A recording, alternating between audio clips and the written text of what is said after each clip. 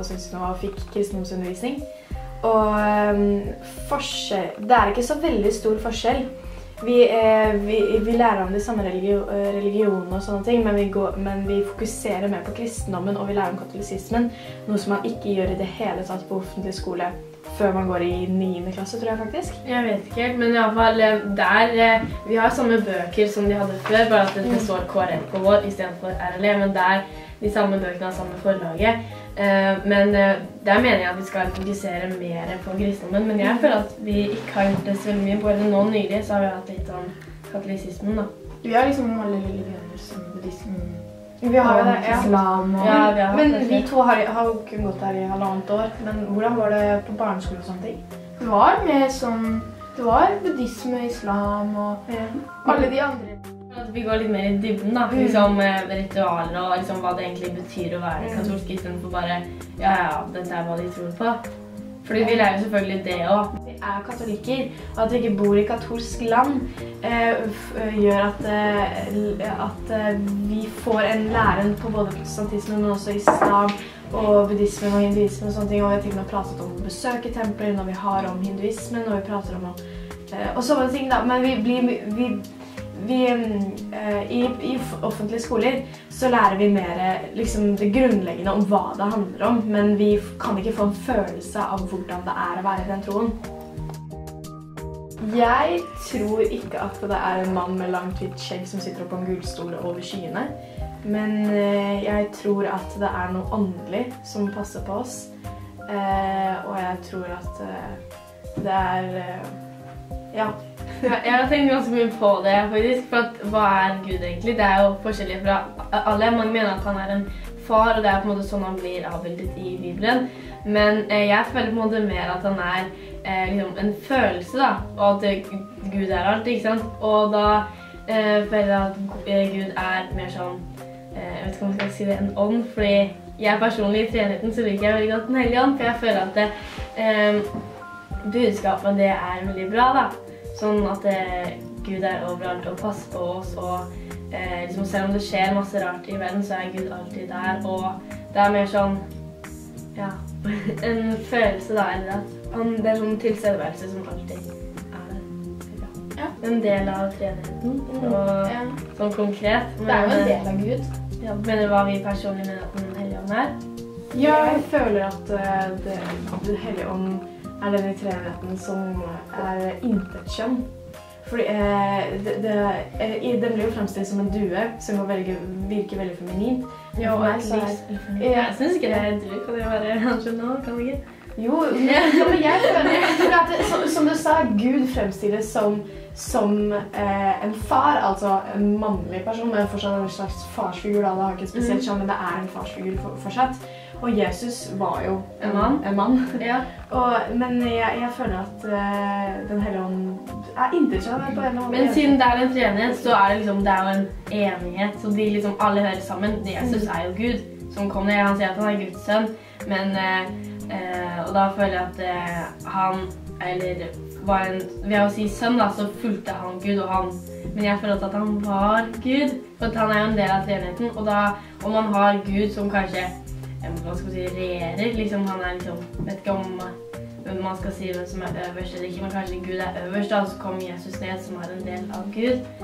Men så eh, er på en måte Den hellige ånd kanskje eh, det som er til stede hele tiden av Gud og Jesus. Jesus var på jorden, men nå sitter han på hø- høyre hånd. Så eh, Gud og Jesus er kanskje oppe et annet sted og passer på oss, mens Den hellige ånd alltid er her. Ja. Nå er det jo veldig vanskelig å forstå treenigheten. Sånn som jeg tror det var pave Johannes som sa hvis du tror du har forstått treenigheten, så har du ikke forstått noe. Så Ja, Bokstavelig talt, nå tror jeg Den hellige ånd er. Jeg føler heller at eh, på hele treenigheten er her. Jeg føler at Jesus er med meg, jeg føler at Gud er med meg, jeg føler at Den hellige ånd er med meg. F.eks. For eksempel i messer og under etter skriftmål og slike eh, sakramenter, egentlig. Sånn, eh, for meg da, så eh, Gud er alltid med oss, men det er lett å glemme det på en måte. Og man tenker kanskje ikke hele tiden på det, men eh, noe som eh, altså, jeg var på sånn katolsk leir, på Mariaholm, og så hadde vi sånn, eh, sånn tilbedelse av eh, liksom, Det var sånn hostegjeng, en sånn stor sånn gullgreie. Husker ikke hva det var. Men i hvert fall, der skulle man bare eh, sitte og be og bare være helt stille foran det. Og så kunne man også gå og skrifte om man ville. Og det kan jo være litt kjedelig, og jeg har gjort det flere ganger, men det var i hvert fall en gang som utmerket seg veldig for meg, var at det var bare veldig, veldig fint. Og man fikk en sånn følelse av at alt var helt greit, og alt kom til å gå kjempebra. fordi Protester mot urettferdighet. Kanskje mot Ja, det er jo kanskje For eksempel i Kina. Han derre lille mannen på det derre Jeg husker ikke hva området het, men Frihetsplassen. Og da var det sånn Det var mange tanks som skulle gå og slå ned opprøret. Og da stilte han mannen seg foran fire tanks.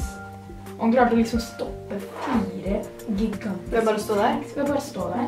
Og når de prøver liksom, Men nå- Det er jo Jeg tviler på liksom må, Det må jo det. Det må være mye mot. Det må Jeg tror kanskje det har noe innblanding av Den hellige ånd. Eller. Men det som dere sa angående fri vilje, det er, det er sånn man kan se uh, Den hellige ånds påvirkninger i verden. Siden vi har fri vilje, så har vi fri vilje til å gjøre hva som helst. Både gode og onde. Og dermed er egentlig alt tegn på at Vi lærer um, det standardet om visse religioner, men vi lærer ikke hvordan følelsen på å være i denne religionen her, hvordan være en tilhenger av denne religionen her. Og det gjør at vi har distansert oss fra eh, visse religioner, da, som katolisismen eller protestantismen. Og jeg mener at religion er veldig viktig for unge å lære om i tidlig alder og gjennom alle, alle, alle sine unge år. Eh, Jeg mener ikke at det burde bli tvingt på noen, så absolutt ikke. Men, burde, men man burde få informasjon om det. Og om alle religioner. Man merker det veldig godt, Jeg har merket det veldig godt i bøkene vi har. Sånn eh, at eh, Det er nesten sånn at de sier at eh, livssynshumanismen er den beste religionen. Selv om eh, å bare lære om islam Å, hør på alt det rare de gjør der. Eller å, hør så mye rart det er i kristendommen. Og jeg føler at liksom de som har skrevet bøkene, er livssynshumanisme. Det kommer ganske tydelig frem. I hvert fall i den boken vi har. Men jeg vil bare si en ting om katolisismen. At eh, presten i menigheten min han sa en gang at eh, det er mye bedre å være en eh, god hindu enn en dårlig katolikk.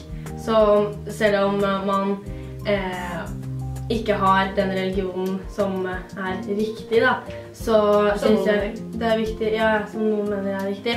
Så eh, syns jeg det er viktig å bare være et godt menneske. Og det jeg liker veldig godt med katolisismen, er at det, jeg føler at det ikke er like mye sånn fokus på eh, alle reglene, men heller sånn hvordan man kan utvikle seg som et menneske og leve et godt liv som Jesus ville at vi skulle gjøre det. Jeg hørte noen si en gang hvis du er en god jøde, så er du en god muslim. Hvis du er en god muslim, så er du en god katolikk. Hvis du er en god katolikk, så er du en god buddhist. Hvis du er en god buddhist, så er du en god hindu. Og det der, det der sier, er at hvis du har et godt hjerte, hvis du liksom medbringer det gode, så er du Så har det ingenting å si hvem du tror på. Da er du bare er, da er det det viktigste. At du er et godt menneske. At du er Ja, at du medbringer det gode.